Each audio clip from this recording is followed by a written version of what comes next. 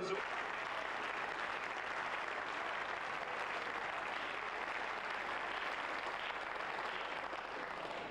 Und Sie bremsen jetzt bei allen Anstehenden. Wollen Sie jetzt für einen Moment zuhören oder nicht? Gut. Gut. Hans Apel fährt fort. Zweitens einen weiteren Verkauf von Anteilen der Teleko- Telekom. Damit werden wir den größten Teil dieses äh, Haushaltslochs äh, zudecken können.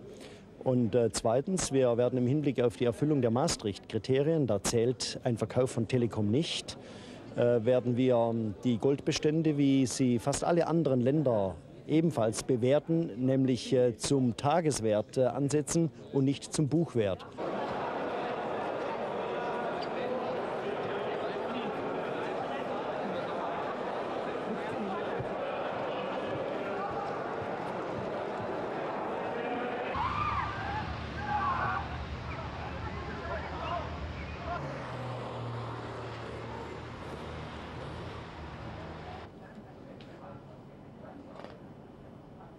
Yeah, the shortfall in tax revenues is due to two factors. One, growth is rather sluggish, and second, unemployment is very high. Now, the tax shortfall plus the additional spending on unemployment means that Mr. Weigel um, has, uh, is facing presently a, a deficit of about 3.5% of GDP if he does not take additional measures. Now, uh, he is realizing that and he has uh, announced that he will take uh, uh, two sorts of measures.